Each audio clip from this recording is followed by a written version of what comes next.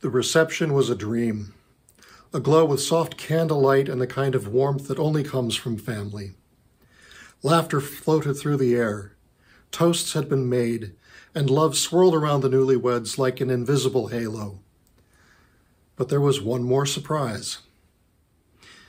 As the guests clinked their glasses and whispered congratulations, the groom stood, his hand clasping something large wrapped in ivory silk.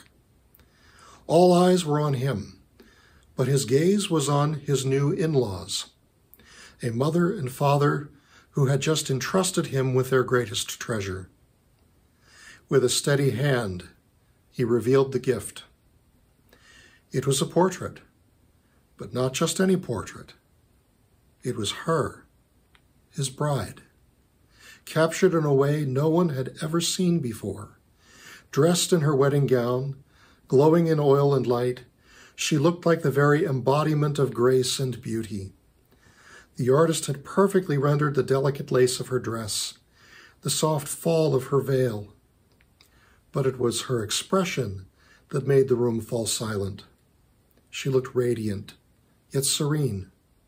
Her eyes filled with love, joy, and a promise of the future.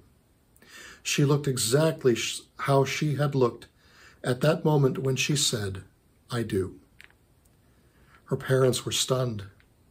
Her mother's hands flew to her face, eyes glistening with tears.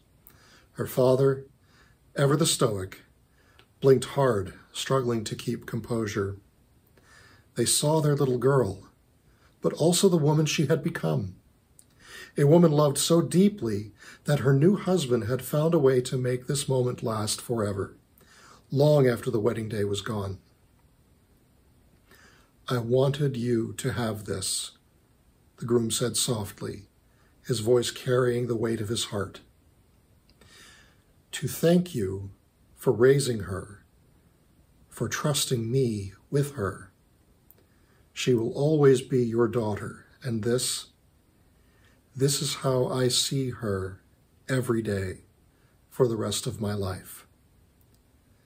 There were no words left to say, only the soft sound of a mother's tears and the warm, appreciative embrace of a father who knew that, in this new chapter, his daughter was cherished beyond measure.